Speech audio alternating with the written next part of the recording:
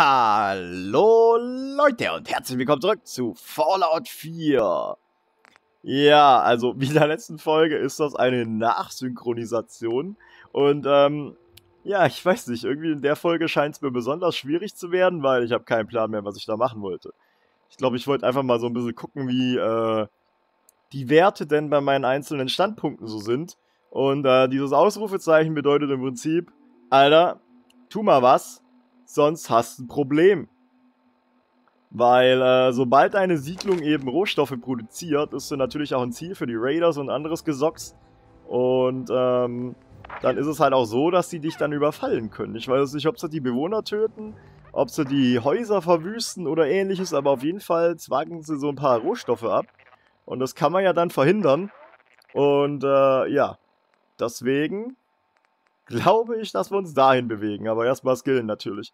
Ich habe da was gesucht, also dieser lokale Anführer-Dings da, das wollte ich unbedingt mal haben.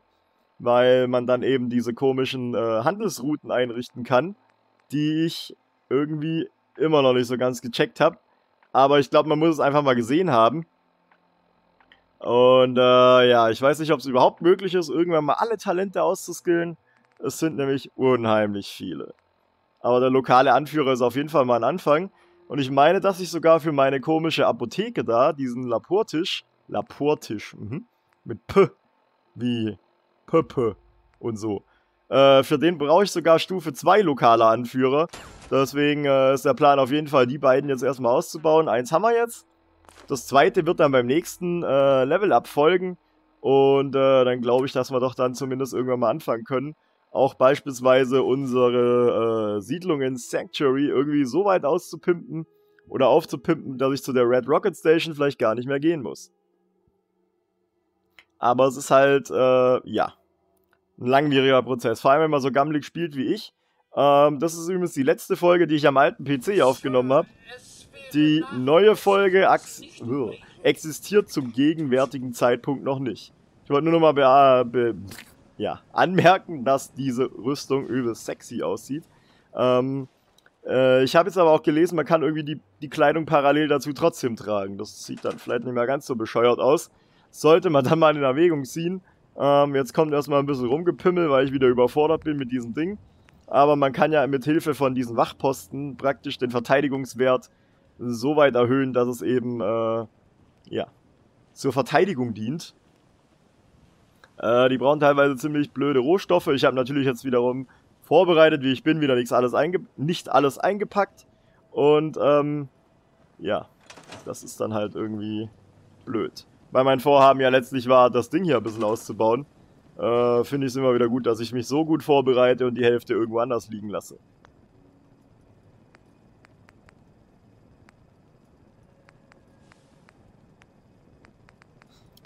Ich finde es eh unheimlich schwierig, irgendwas nachzusynchronisieren. Vor allem, wenn es so weit zurückliegt. Na, jetzt kamen halt einige Dinge dazwischen. Ich hatte halt leider keine Zeit. Äh, sechs Schichten, äh, zehn Stunden habe ich hinter mir. Und äh, ich bin an sich immer noch ziemlich groggy davon. Ich hoffe, dass die nächste Zeit vielleicht wieder ein bisschen entspannter wird. Dann komme ich auch schneller dazu. Oder aber, noch besser wäre, mir würde so ein Scheiß nicht nochmal passieren. Gut, ist natürlich alles in der Hektik so ein bisschen passiert. Das habe ich euch ja mal ganz kurz angedeutet in der letzten Folge am Ende. Äh, ich wollte alles herrichten, die Backups saven und, und halt möglichst alles schnell noch hochladen, damit ich halt mir auch die Übertragung auf die äh, Festplatte sparen kann. Deswegen habe ich dann geguckt, dass ich schnell noch, bevor der Rechner kam, alles gerendert habe, was ich noch hatte. Und habe das dann auch hochgeladen. Nur scheinbar habe ich beim Fallout Let's Play ordentlich verschissen. Ähm, wie gesagt, ist halt so gewesen, ich habe das Zeug gerendert und exportiert, hochgeladen und da ich da, glaube ich, mindestens fünf oder sechs Folgen Vorsprung hatte, habe ich mir das auch vorerst gar nicht mehr angeschaut. Und äh, dann wollte ich letztens für Folge 23 dann anfangen, Thumbnail und Titel zu machen. Tja, da kam dann die lustige Feststellung, what the fuck, der Spielsound ist da, aber deine Stimme überhaupt nicht. Ja. Das hatte ich, glaube ich, schon mal bei ein paar Spielen und ich muss ehrlich sagen, ich habe mir eigentlich geschworen, darauf besser zu achten, aber aufgrund dessen, dass es halt dann doch relativ fix ging mit dem PC, na, ihr wisst ja noch vielleicht eine Woche oder zwei habe ich fast gar nichts gehört vom Lieferanten und dann auf einmal es so, ja, also morgen kommt er dann. Hm. sehr kurzfristig.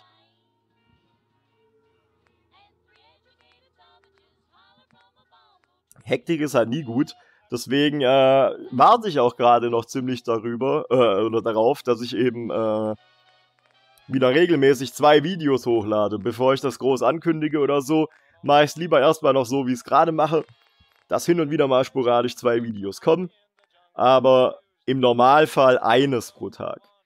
Uh, liegt einfach daran, dass ich äh, zum einen, wie gesagt, nicht so arg viel Zeit habe. Allein dadurch, dass ich jetzt twitche und so weiter, ist da sowieso nochmal was weg an Zeit, was ich sonst immer hatte für YouTube. Ähm, dann die Arbeit, klar, ist Urlaubszeit, sind jetzt fast alle im Urlaub gefühlt. Da muss man natürlich ein bisschen mehr machen und auch leider öfter kommen. Äh, das alles zusammen ergibt sich natürlich dann und resultiert dann darin, dass man halt deutlich weniger Zeit hat für irgendwelche Let's Plays oder so. Und ähm, dass eben genau das nicht passiert, was jetzt eben doch passiert ist, wegen dem Rechnertausch und so weiter, ist halt, äh, ja, dass man halt irgendwas verkackt. Dass beim Rendering irgendwas absolut nicht stimmt. Oder ja. oh, ich bin ein bisschen heiser. Naja, egal. Geht schon. Äh, oder dass eben so ein Scheiß passiert, dass eben nur gefühlt die Hälfte hochgeladen wird. Also einmal habe ich es auch schon geschafft, da habe ich aber zum Glück die Rohdaten noch gehabt. Ich weiß gar nicht mehr bei welchem Spiel. Da war es dann einfach so, ja, also da war meine Voiceline zwar da, dafür hat der Rest gefehlt. Also kein Bild, kein Ingame-Sound, einfach nur 15 Minuten mein Gequassel. Auch nicht schlecht. Äh, ich denke mal fast, dass man das, was ich ursprünglich jetzt hier hatte, am ehesten noch machen könnte und zu sagen, okay Leute, so schaut's aus äh, ohne Voiceline, weil keine Zeit. Aber das wollte ich dann doch nicht tun. Allerdings, wie gesagt, das kann man halt eher noch vertreten, weil man es dann einfach als Silent Gameplay oder wie auch immer man den Scheiß nennt, äh, bezeichnen könnte. Aber wenn du natürlich gar nichts siehst und mich nur brabbeln hörst, das ist dann, glaube ich, uncool. Nur wenn ich dann abgehe, so, habt ihr das gesehen, habt ihr das gesehen? Und ihr seht Black Screen. Geil. Total cool. Also, nicht. Naja. Man kann nicht alles haben.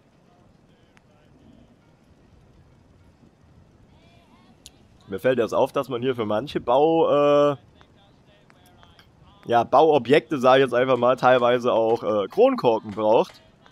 Und da muss ich mir langsam auch mal was raussuchen, wie ich das am besten hinkriege. Aber ich glaube, der nächste Plan, und ich denke mal, dass da auch so ein bisschen das Geld wartet, wäre dann, also ich weiß nicht, bis wann ich es schaffe, aber ich will demnächst auf jeden Fall mich auf den Weg machen Richtung Diamond City. Weil ich denke mal, dass du da am ersten noch auf Zivilisation triffst. Vielleicht sind da auch irgendwelche Händler, die dir tolle Preise machen oder einfach mal ein paar Quests, die dir sagen, Junge, du bist der Geiste und dir das dann auch zeigen in Form von Gold. Also, naja, Kronkorken in dem Fall. Meint ihr denn, die edlen Rohstoffe in diesem Spiel wären dann goldene Kronkorken? Weil bei uns gibt's Gold, Silber, alles Mögliche und eben Geld. Da gibt es nur Kronkorken. Also da müssen die folglich Gold sein. Ich finde die Theorie geil. Ne, echt jetzt. So ein bisschen. So, das war der Zeitpunkt dann, wo ich tatsächlich mal geschafft habe, ein paar Materialien mitzunehmen. Ist da jetzt auch nicht unbedingt das, was selbstverständlich ist. Wie gesagt, ich verpeile gern mal was. Aber, naja, so ist das halt. Ich glaube auch, wenn ich es richtig in Erinnerung habe, Mangels Zeit habe ich natürlich nicht mehr vorher reingeschaut, was hier überhaupt passiert, aber so viel passiert hier nicht. Im Prinzip ging es mir hauptsächlich darum, ein bisschen die Verteidigung zu stärken. Weil mir das eben aufgefallen ist, wegen diesem unscheinbaren Ausrufezeichen. Und äh, ich natürlich nicht möchte, dass meine nette Abernathy-Farm irgendwie überrannt wird oder so. Ja, mir ist bewusst, dass die Familie Abernathy den ganzen Laden hier in Schwung hält. Aber ich bezeichne sie mittlerweile trotzdem als meine Farm, weil, naja, das Spielmenü sagt das so.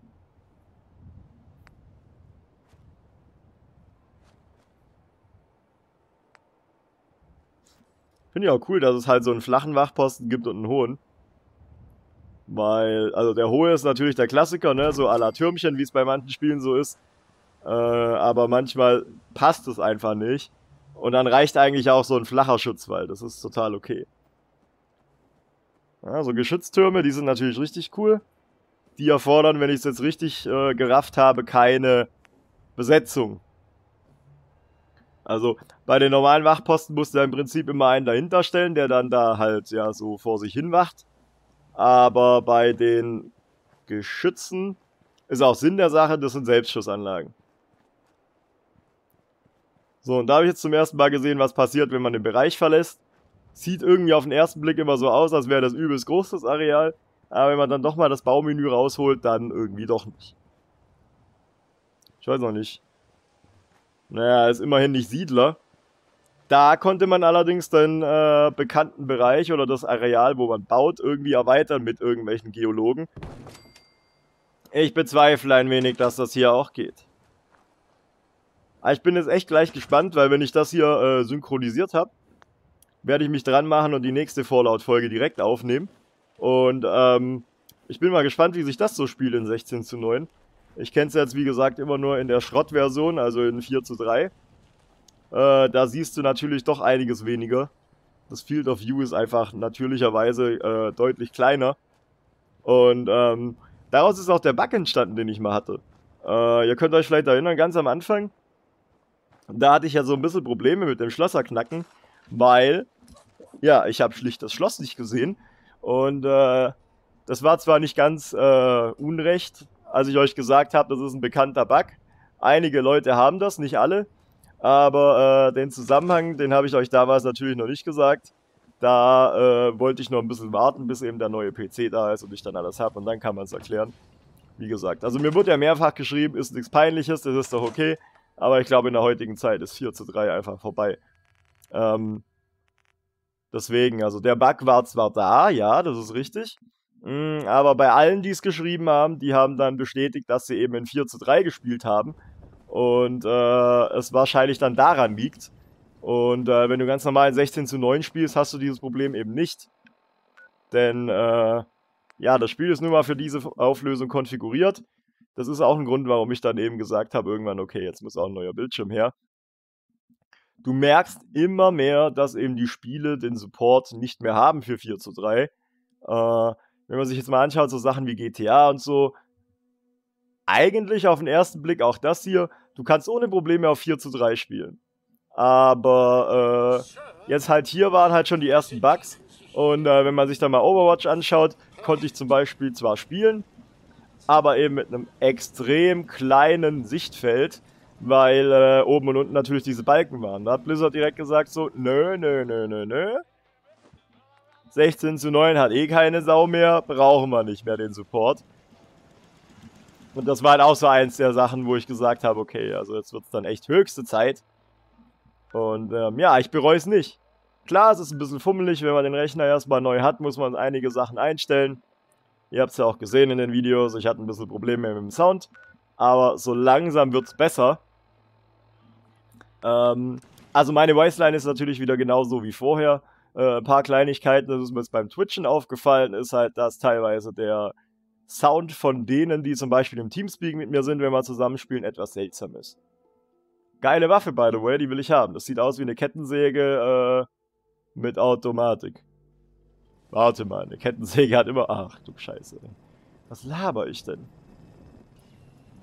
So, und da wollte ich dann nochmal zurück zu diesem Güterbahnhof, weil äh, ich mir so dachte, okay, ich weiß ja noch, wie es war. Ich habe mir da einiges geholt, geplündert, aber ich kenne mich, weil ich lasse gern mal was liegen. Uh, das ist halt so ein kleines Problem, was ich habe. Und ähm, da ich natürlich fleißig weiter Rohstoffe suche, äh, darf ich natürlich auch nicht vergessen, die Stellen nochmal abzuklappern, an denen ich vielleicht schon mal war. Deswegen bin ich nochmal hierhin zurück. Ist auch geil hier, ne? So, so ein Schlafsack oder so eine Matratze so mitten unter einem Wrack vom Flieger. Da schläft sich's bestimmt gut. Und ein Scheißhaus. Ganz wichtig. Ja, also. Die Schüssel zum Erfolg ist einfach das Klo. Ganz einfach. Ist egal, hier so, so, so. Das finde ich halt auch gut gemacht. Das hast du in vielen Spielen eben nicht. Ähm, in vielen Spielen, wo Fässer sind, die reagieren höchstens auf Schüsse, haben dann halt ein paar Löcher, wackeln mal kurz, aber das war's. Dass du es hier halt richtig so runterpurzeln lassen kannst, das ist geil. Aber ich muss ehrlich sagen, ich weiß jetzt gar nicht mehr, warum ich da eigentlich hin bin. Aber ich glaube, es ging mir schon darum, so ein bisschen Rohstoffe zu sammeln aber gleichzeitig, da hat man es jetzt ganz im Hintergrund, glaube ich, gesehen, Diamond City, die große Hauptstadt. Da ist natürlich das Ziel. Und, ach ja, die Mülldeponie, genau. Ähm, hier wird geschossen. Ist auch cool.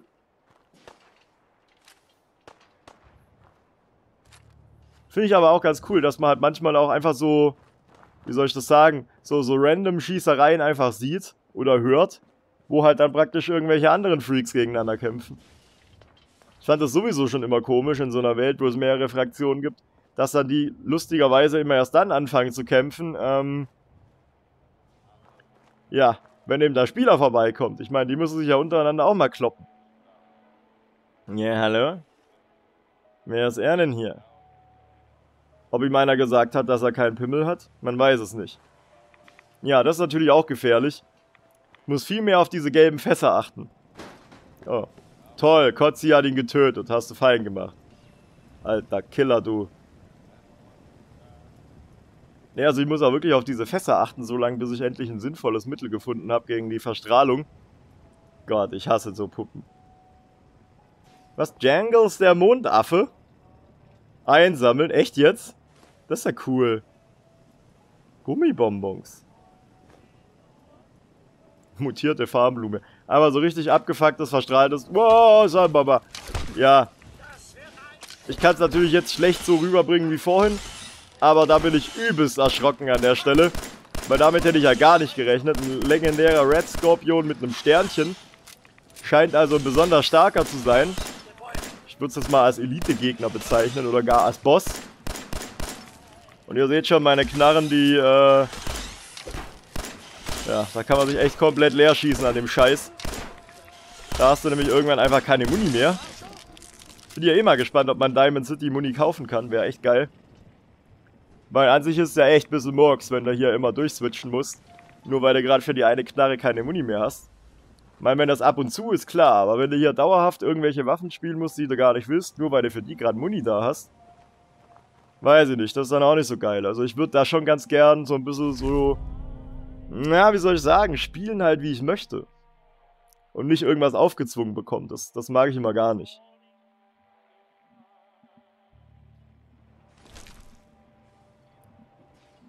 Ach ja, schicker Fernseher. Nee, aber auch geil fand ich jetzt einfach, Elite-Gegner getötet und was ist drin? So ein bisschen Red Scorpion-Fleisch. Geil. Was? Da, kann man auch genauso gut einen Kleinen töten. Das ist überhaupt nichts Sinnvolles. Das ist einfach schwach. Einem Boss absolut nicht angemessen irgendwie. Deswegen, das Loot-System verstehe ich manchmal auch noch nicht. Aber das war ja bei Skyrim ähnlich. Tötest übelst den Oberboss, kriegst da hier, keine Ahnung, zwei Pfeile oder so. Und dann pimmelst du irgendwo durch eine verlassene Höhle, wo wirklich keine Sau ist, wo du alles locker easy einfach einsacken kannst und kriegst hier fette Waffen und, und, und Tränke, Elixiere, was weiß ich alles. Ja, das ist irgendwie deprimierend, keine Ahnung.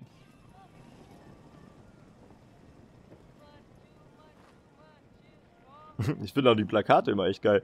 Also generell diese Welt, wie sie geschaffen wurde, wie sie designt ist in äh, Fallout, finde ich richtig, richtig cool. Ja, ja, Vorsicht, Strahlung. Das Schöne ist ja, dass das hier scheinbar nur so eine temporäre Strahlung zu sein scheint.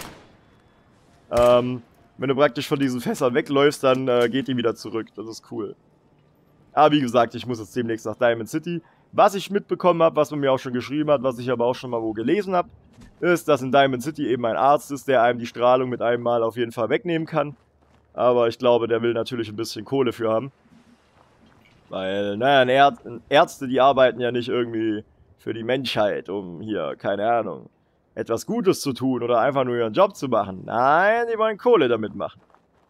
Und da es hier wohl kaum noch irgendwelche großartigen Krankenversicherungen gibt, geschweige denn irgendwelche Beitragzahler, muss man sich halt anders zu helfen wissen. Also Kohle aus den Taschen ziehen.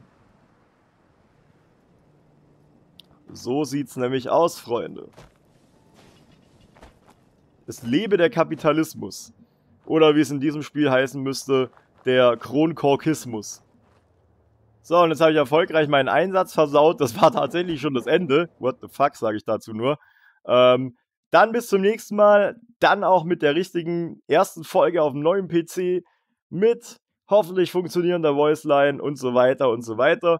Würde mich freuen, wenn ihr mir ein Däumchen nach oben da lasst und beim nächsten Mal wieder reinschaut. Bis dann, ciao.